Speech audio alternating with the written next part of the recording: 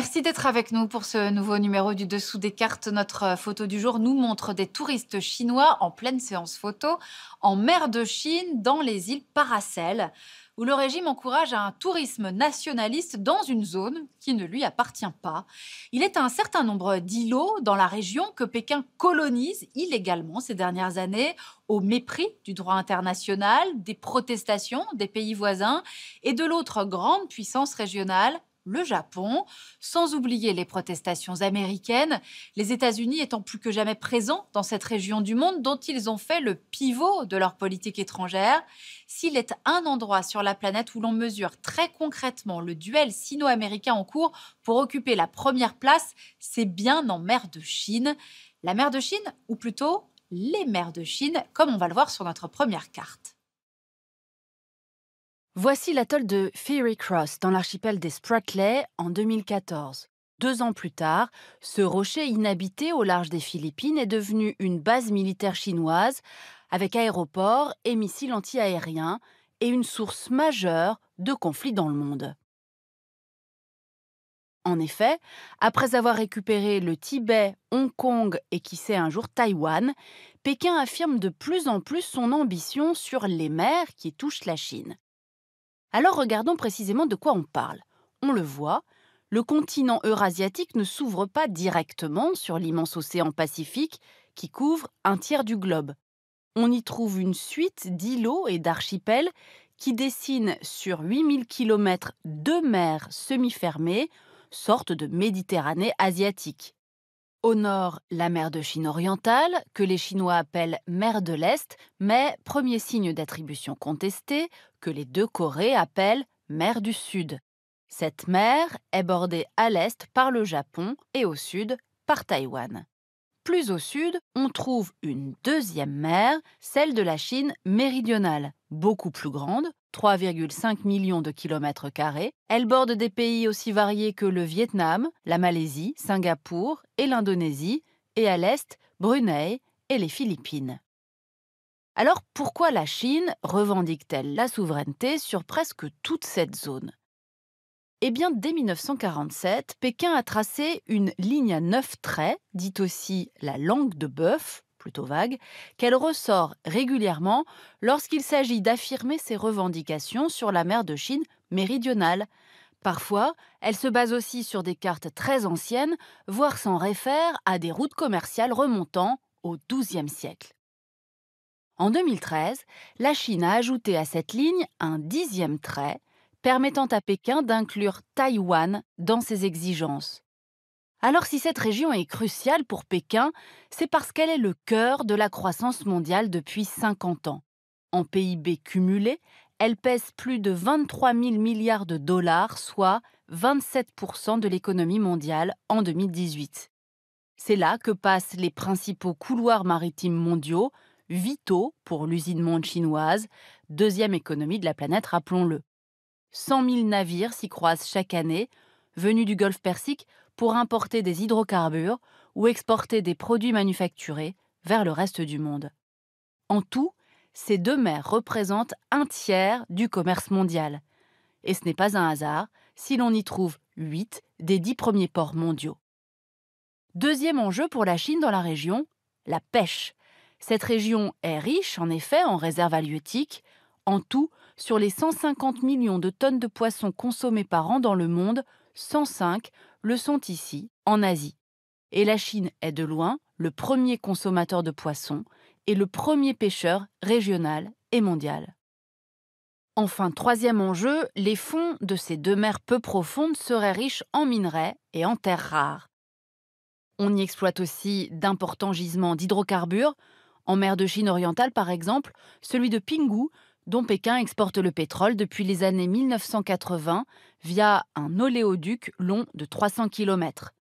En mer méridionale, l'AIE, Agence internationale pour l'énergie, estime les réserves à 11 milliards de barils de pétrole et 5400 milliards de mètres cubes de gaz naturel. Sans surprise, les dix traits chinois incluent nombre de ces gisements. Sauf que le droit maritime moderne, fixé en 1982 par la Convention de l'ONU de Montego Bay, dit bien sûr autre chose. Selon ce texte crucial, tout pays a une souveraineté absolue sur sa mer territoriale, 12 000 marins, tant que les navires peuvent y passer librement. Plus des droits d'exploitation dans ce qu'on appelle la zone économique exclusive, 200 000, voire le double si c'est le prolongement du plateau continental. Mais un pays ne doit pas empiéter sur la zone économique exclusive d'un autre pays. Or ici, la zone revendiquée par la Chine se heurte aux zones revendiquées par le Japon, les Philippines, la Malaisie, Brunei et le Vietnam. C'est pour cela que chaque îlot ou archipel émergé devient un enjeu de puissance, car une fois construit et habité, il donne droit à 200 nouveaux milles marins de zone économique. Résultat, à 600 km entre l'île d'Okinawa et les côtes chinoises, les îles Senkaku ou Diaoyu en chinois, sous administration japonaise, provoquent régulièrement des incidents entre les flottes des deux pays. Surtout depuis qu'en 2012, le Japon a racheté, les Chinois disent nationalisé, trois de ces îlots à un homme d'affaires japonais.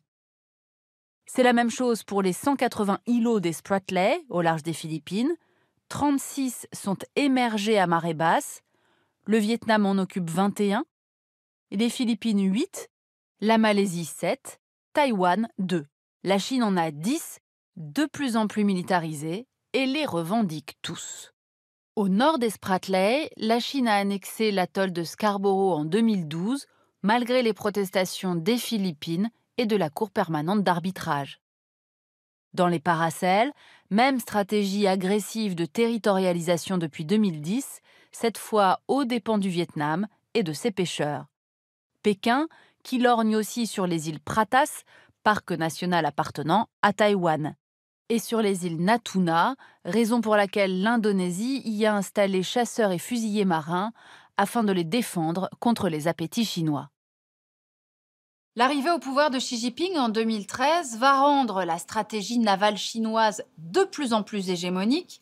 Or, au même moment, les États-Unis décident que l'Asie va devenir le cœur de leur puissance, ce qu'on appelle le pivot asiatique. Alors depuis, on assiste à une rivalité croissante des deux premières puissances navales au monde, et c'est ce qu'on va vous montrer maintenant. Depuis 1945 et l'effondrement de l'empire que les Japonais avaient imposé en Asie, ce sont en effet les États-Unis qui jouent le rôle de gendarmes des mers asiatiques. Cela a également permis à Washington de contenir depuis 1949 l'influence de la Chine communiste.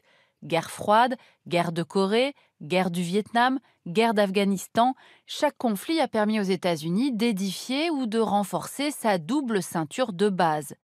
L'une va de Yokosuka, siège de la 7e flotte, à Guam, possession américaine, jusqu'aux bases d'Australie. L'autre du Japon via Taïwan, les Philippines, Singapour, jusqu'en Asie centrale. Face à cette stratégie d'encerclement, Pékin a imposé une modernisation à marche forcée de sa marine, dont on voit ici les principales bases, devenant ainsi la deuxième flotte mondiale. Cela a provoqué en réaction une course à l'armement régional. Mais avec un budget militaire annuel qui équivaut à plus de deux fois celui de tous ses voisins réunis, Pékin est devenu la puissance régionale incontestable. Sauf que ses ambitions vont au-delà. Le premier porte-avions chinois est opérationnel depuis 2011, un second depuis 2018, un troisième le sera en 2021, deux ou trois autres encore d'ici 2035. Avec 600 navires en tout, la flotte chinoise veut verrouiller les mers de Chine pour en faire des lacs chinois et repousser l'influence américaine au-delà de cette ligne qui passe par Guam et par les îles Mariannes, c'est-à-dire loin, en haute mer. Car avec sa stratégie des nouvelles routes de la soie, dont on voit ici le volet maritime, Pékin affirme une ambition mondiale. Voici le fameux collier de perles, ces bases portuaires destinées à sécuriser les routes maritimes vitales pour l'économie chinoise. Pékin place ainsi ses pions jusqu'à Djibouti, premier port militaire chinois en Afrique. Un autre devrait voir le jour à Gwadar ou à Jiwani, au Pakistan.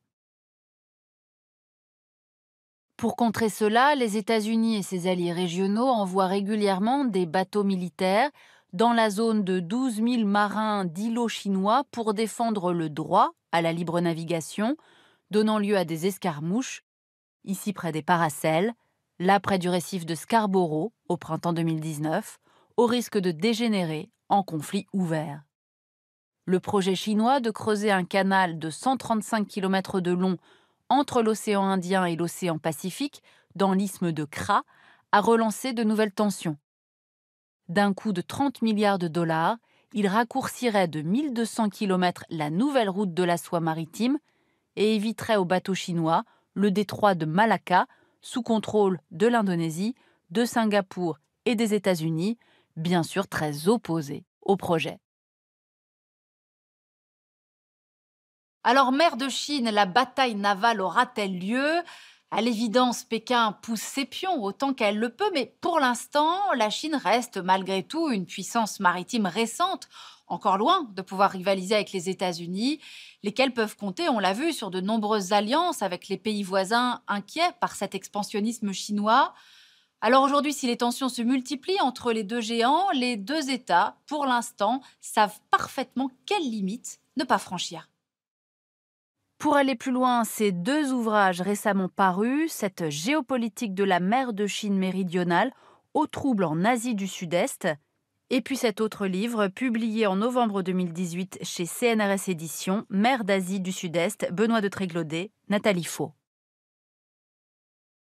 Ainsi s'achève ce nouveau numéro du Dessous des cartes. Rendez-vous bien sûr la semaine prochaine, même endroit, même heure. Et d'ici là, n'oubliez pas notre site internet arte.tv sur lequel vous retrouverez notamment nos experts. À bientôt.